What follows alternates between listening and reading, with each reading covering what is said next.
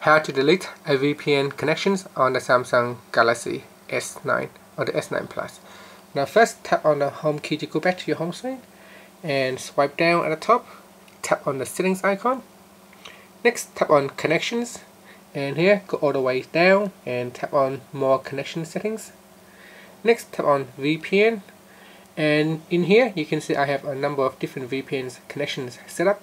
So tap on the one that you want to delete for example this one here VPN so tap on the settings icon on the right hand side. And down here tap on the delete button.